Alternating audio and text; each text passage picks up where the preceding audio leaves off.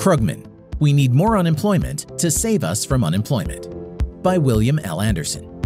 An audio Mises Wire narrated by Millian Quinteros. It has been a long time since I read anything by Paul Krugman, and seeing his most recent column simply reminds me why I've not missed anything.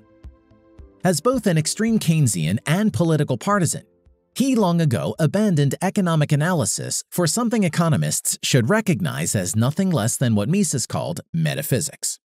Nonetheless, my curiosity got the best of me when he wrote that reopening the economy and allowing people to go to work almost surely will cause a depression. He writes, Last week, the Bureau of Labor Statistics officially validated what we already knew. Just a few months into the COVID 19 crisis, America already has a Great Depression level of unemployment. But that's not the same thing as saying that we're in a depression. We won't know whether that's true until we see whether extremely high unemployment lasts for a long time, say a year or more. Unfortunately, the Trump administration and its allies are doing all they can to make a full-scale depression more likely. Now, many of us believe that the massive monetary and fiscal interventions into the U.S. economy from both federal and state governments are likely to create a depression and make the current rates of unemployment grow even more. That, however, is not Krugman's point. In fact, Krugman seems to believe that there isn't enough government intervention, which is a regular theme in his writings. Instead, Krugman is alleging that reopening the economy is what will usher in the next depression. We have been there before. Who can forget Krugman's 2011 clarion call to form real defenses against an imaginary invasion by space aliens in order to revitalize the economy? Anyone who has read or taught Keynesian economics knows that according to Keynesians, the economy always is a slip away from going into massive unemployment. Unless government A. cuts interest rates until they cannot be cut anymore, and B. engages in massive new spending to increase aggregate demand because full employment only can be reached when government intervenes, period. But even I will admit that this column took me by surprise, although he has his usual partisan snipes. To the question of how we avoid an out-and-out depression, Krugman replies that we need to stay the course, in his words, and keep everyone locked up even longer. His reasoning is that if Americans are let out of home confinement now, all of the so-called gains that this country supposedly has made against the ravages of COVID-19 will be lost. And then the rock will roll back down to the bottom of the hill. Krugman writes, If we could get the coronavirus under control, recovery could indeed be very rapid. True, recovery from the 2008 financial crisis took a long time. But this had a lot to do with problems that had accumulated during the housing bubble, notably an unprecedented level of household debt there don't seem to be comparable problems now. But getting the virus under control doesn't mean flattening the curve, which, by the way, we did. We managed to slow the spread of COVID-19 enough that our hospitals weren't overwhelmed. It means crushing the curve, getting the number of infected Americans way down, then maintaining a high level of testing to quickly spot new cases, combined with contact tracing so that we can quarantine those who may have been exposed.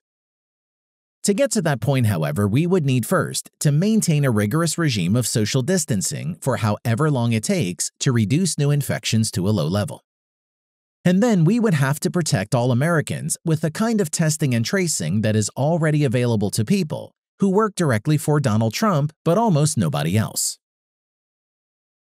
The closest thing to this kind of thinking is AP correspondent Peter Arnett's infamous quote after American airstrikes decimated the village of Ben Tre it became necessary to destroy the town to save it.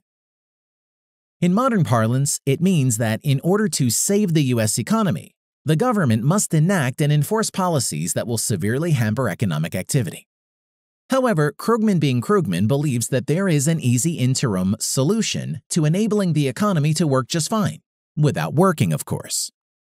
He writes, at the same time, the administration and its allies are apparently dead set against providing the financial aid that would let us sustain social distancing without extreme financial hardship. Extend enhanced unemployment benefits, which will expire July 31st? Over our dead bodies, says Senator Lindsey Graham. Aid to state and local governments, which have already laid off a million workers? That, says Mitch McConnell, would be a blue state bailout. The statement truly exposes the extreme Keynesian mentality. Printing money is the near direct equivalent of actually producing something. Like all Keynesians, Krugman commits the fallacy of composition, believing that what might be good for one person or a few persons thus is good for everyone. For example, we already have seen that thanks to current government policies, many workers are receiving unemployment benefits that are more than the wages they would receive if they returned to work. So, not surprisingly, they are staying off the job. According to the Keynesian supporting journalists at CNBC, that is a good thing. No, that is a disaster in the making. Although it might be good for me if the government gave me a million dollars a week not to work, it would be effective only if I'm the only one receiving the benefit. Although the rest of society actually would be worse off under such a policy, since it would be nothing but a naked wealth transfer from everyone else to me.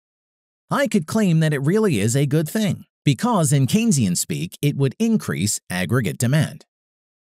Think of this on a very large scale, and one has an idea of what Krugman is advocating in the name of preventing a depression.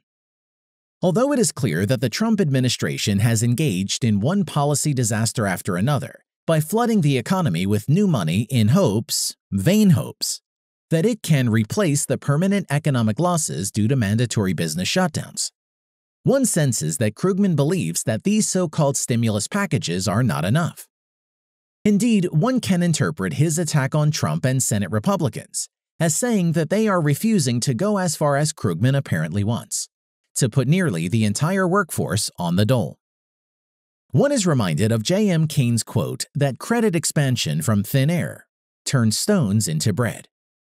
Krugman essentially is saying the same thing. Government via massive monetary injections into the economy magically is substituting money for the real thing production of actual and consumable goods and services. Unfortunately, too many people in authority believe this nonsense and believe it to our demise.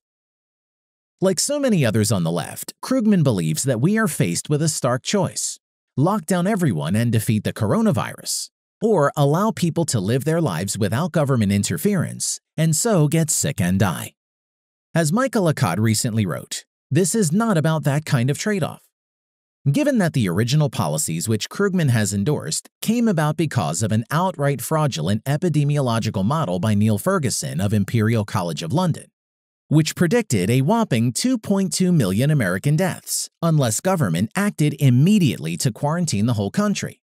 It is just as hard to take Krugman the epidemiologist seriously as it is to take Krugman the economist with anything but a huge block of salt. To sum up Krugman's latest outburst, we have the following progression. A. Shutting down businesses across the country has resulted in massive layoffs and depression-level rates of unemployment. B. Letting people go back to work will result in even greater levels of illness than before, which will really spur unemployment. C. Therefore, print lots of money and keep people inside and everything will be fine. The logical fallacies here are overwhelming. If governments continue to keep businesses shuttered and people locked up, unemployment rates soon will skyrocket to unprecedented levels, and we will be in an even worse depression. However, Krugman adds that if governments vastly expand credit that is now beyond already unrecognizable levels, then the glorified money printing will keep everything in check. This is logic worthy of not just Keynes, but of cranks like Silvio Gesell and the gaggle of modern monetary theory or MMT advocates. To be honest, the only thing missing from Krugman's latest fantasy is the beginning line, once upon a time. For more content like this, visit Mises.org.